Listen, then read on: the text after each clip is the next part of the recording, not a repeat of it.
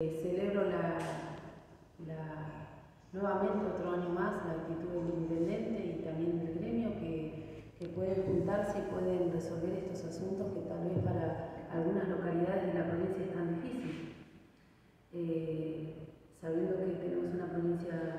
eh, tan rica y bueno, que, cueste, que cueste en algunas localidades tomar esta actitud, la verdad que, es triste, pero bueno, algo como siempre eh,